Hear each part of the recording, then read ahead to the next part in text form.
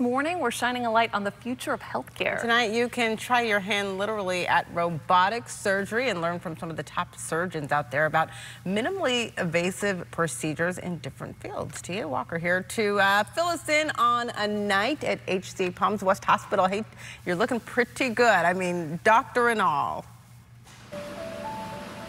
Yeah, it's comfortable, uh, Holly. Good morning, Ashley. Good morning, everyone. This is one of the robots that was used on my hernia, hernia surgery just a couple uh, months ago here at Palms West. And now everybody gets to check it out this uh, evening. Jason's the CEO. Tell us what the event's all about. Well, we've invited the community to come tonight for a robotic night. This is our second year we've, we've held this event, including inviting all of the health academies to come here tonight to see firsthand the cutting edge technology and the world class surgeons that come here each and every day to provide an opportunity for patients to have a healthier tomorrow, just like yourself as part of our Robotic Surgery Center of Excellence. We're super excited about it. Thank you so much. Appreciate that. Dr. Zarak, uh, th these robots make a big difference. Before you had to open people up for just the simplest of surgeries, and now it's just a little scar.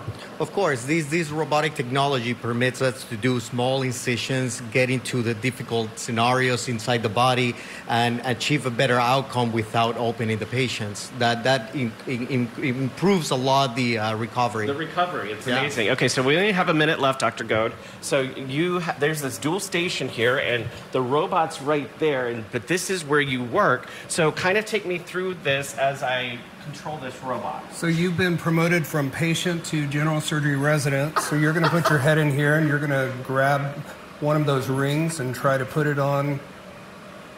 Oh wow, that's cool. And you can see that it's like playing a 3D video game. Yeah, I'm not good at those, so I'm amazed that I actually did this. Thank you so much, Ashley and Holly. This is really, really cool. If you equate it to playing it like a video game, I know some 14 and 15 year olds out there who would ace it. Oh, yeah. And maybe get immersed in a, a new career path, too. Never know. Thanks, Tia. Look